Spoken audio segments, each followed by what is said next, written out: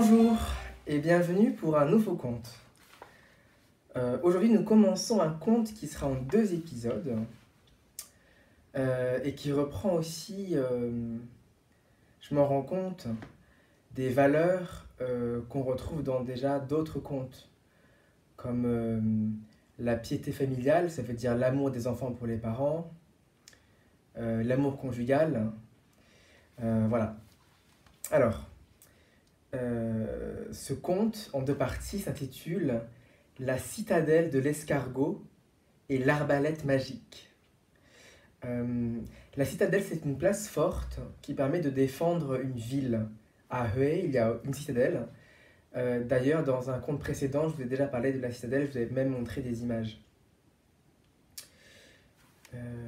Un typhon, on l'a déjà aussi dit il y a un petit moment, c'est une tempête qui a lieu dans la mer et qui parfois entraîne des raz-de-marée. C'est-à-dire que la mer monte tellement qu'une vague euh, envahit la terre. Des bruits souterrains, ce sont des bruits qui viennent de dessous la terre, donc euh, qui viennent du sous-sol. Euh, les murailles, par exemple, dans un château fort, ce sont les murs épais qui permettent de, défendre euh, les personnes qui sont dans le château fort.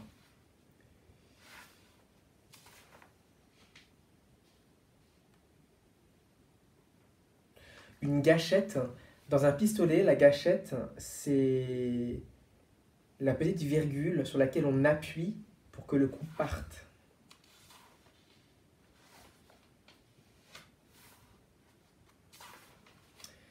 Et l'orient, en parlant d'une perle, l'orient d'une perle, c'est l'éclat d'une perle.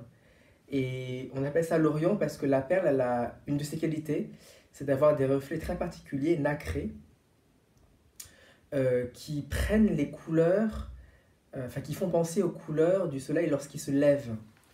Et l'Orient, c'est l'endroit où le soleil se lève, c'est l'ouest. C'est l'est.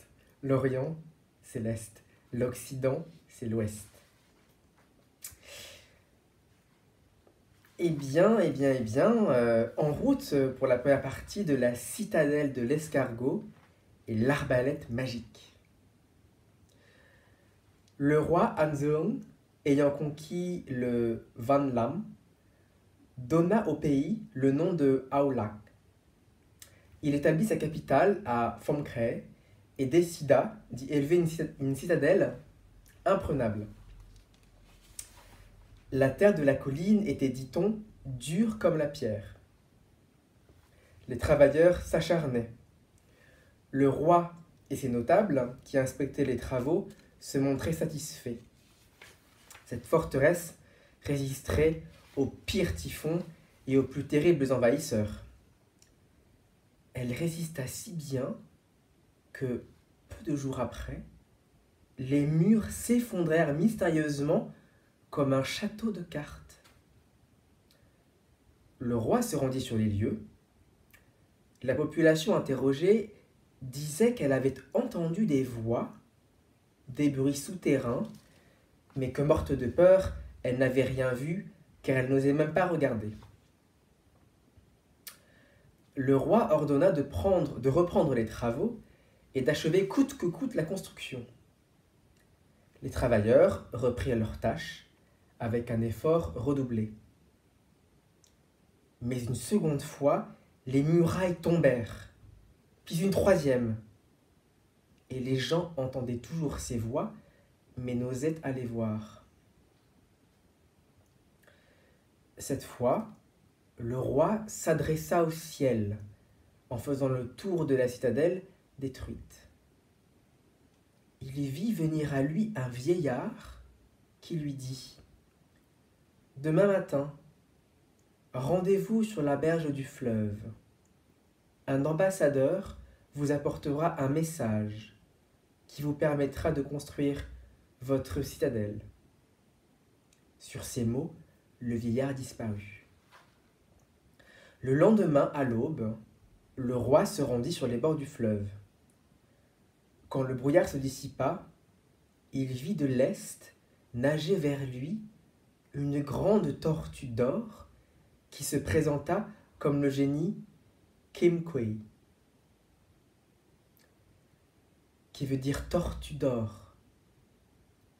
Porté au palais sur un plateau d'or, le génie révéla au roi le secret de l'effondrement de la citadelle.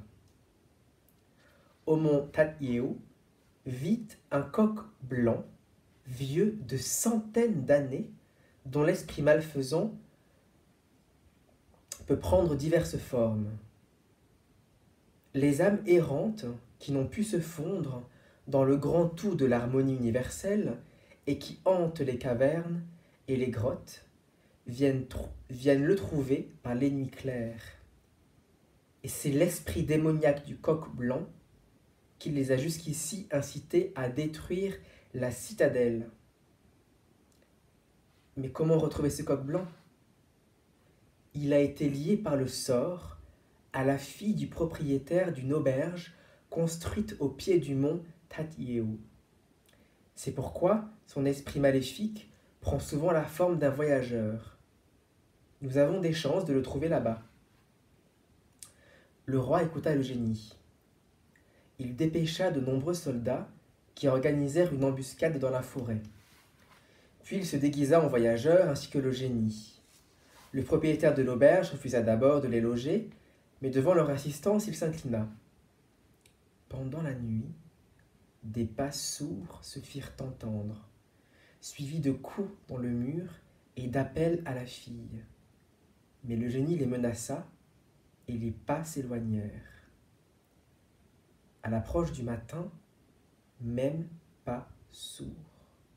Sur les conseils du génie, le roi donna l'ordre à ses soldats d'attaquer. Les flèches sifflèrent, on entendit partout des cris de douleur, puis les plaintes s'espacèrent. Au lever du soleil, les soldats du roi exhumèrent de nombreux ossements humains, les brûlèrent et dispersèrent les cendres dans les ruisseaux.